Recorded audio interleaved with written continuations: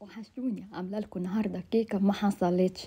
سهلة وبسيطة. وفي أقل من دقيقة بتلاقي نفسك عملتيها ودخلتيها الفرن. إزاي ما تعرفيش؟ وبتطلع بالجمال ده. حقيقي تبارك الله. بتتقطع بكل سهولة. مفيش أسهل من كده. كمان مش هنستخدم حليب ولا سمنة ولا زبدة. بصوا قد إيه اقتصادية. وكمان ادت الكمية الكبيرة اللي أنتوا شايفينها. تقدري تحطيها للولاد في الصباح وهم رايحين في المدرسة. وممكن من فوق تضيفي أي صوص بتحبيه كراميل أو شوكولاتة أو icing اللي يعجبك أو تحبيه للولاد. ممكن تحطي نوتيلا خفيفة وتعمليها كأنها ساندويتش وتحطيها للولاد في ال lunch box في المدرسة أو انت رايحة الكلية أو انت رايحة الشغل بتاعك. أو تحطيها مع شاي وانت بتشربيه في الصباح.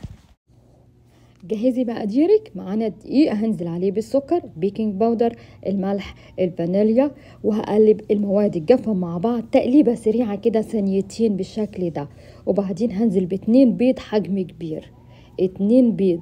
لازم تطلعيه من التلاجة قبلها بشوية عشان ما يبقاش ساقع وما يكتمش ال baking powder معايا. وبعدين هنزل معاكم بالزيت. وبعدين المية. تتسد. بصوا المقادير قد إيه بسيطة وسهلة. مفيش فيها شغل نهائي صح؟ كمان اقتصادية. مفيش ولا زبدة ولا سمنة ولا أي حاجة ويا دوبك شوية الزيت الصغننين دول اللي هيعملوا معاكي قالب الكيك الكبير قوي ده.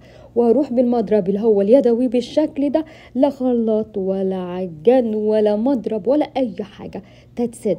دون بصوا هتأكد بقى ان السكر مظبوط عشان ما أزودش تاني مقاديري مظبوطة. ده القوام بالظبط اللي أنا عايزاه. لا عايزه أتقل من كده ولا أخف من كده. شايفين قد إيه؟ ودهنت القالب بتاعي من غير ما أحط ولا ورق زبدة ولا أي حاجة. ونزلت بخليط الكيك جوه. خطيرة حقيقي تبارك الله. ما فيش فيها أي دهون خالص وبيضتين بس وبدون زبدة.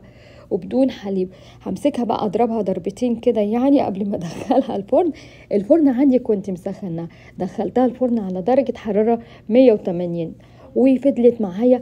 بتفضل بقى هي جوه. من من خمس من 30 ل 35 دقيقة. أكتر من كده هتنشف منك. فخلي بالك الفرن لازم يبقى سخن قبلها. بصوا عاملة إزاي. أوبا! حقيقي تبارك الله. عايزة أقول إن هي لسه خارجة على طول ما سبتهاش تهدى.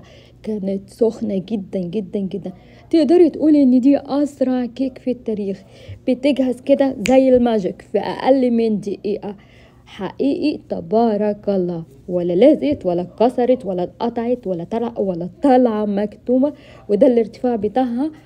oh my gosh خطيرة خطيرة خطيرة. هنقطعها بقى مع بعض وهنشوف.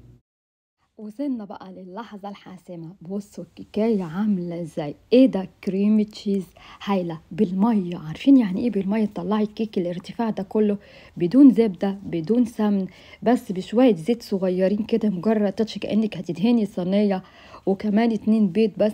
حقيقي مش عارفة أقول إيه غير انجوي اعملوها. بصي ماشية إزاي؟ بص شكلها في النهاية. بتوزع لكام واحد في الأسرة؟ حقيقي اقتصادية وسريعة وخفيفة ولونها حلو قوي وزي ما قلنا تقدري تلعبي في النكهة اللي انت عايزاها. استخدم امين استخدمنا الفانيليا. هنا هضيف اللي هو صوص الشوكولاتة. أي حاجة بتحبيها بس حبيت في الصباح إن أنا آخد شوكولاتة.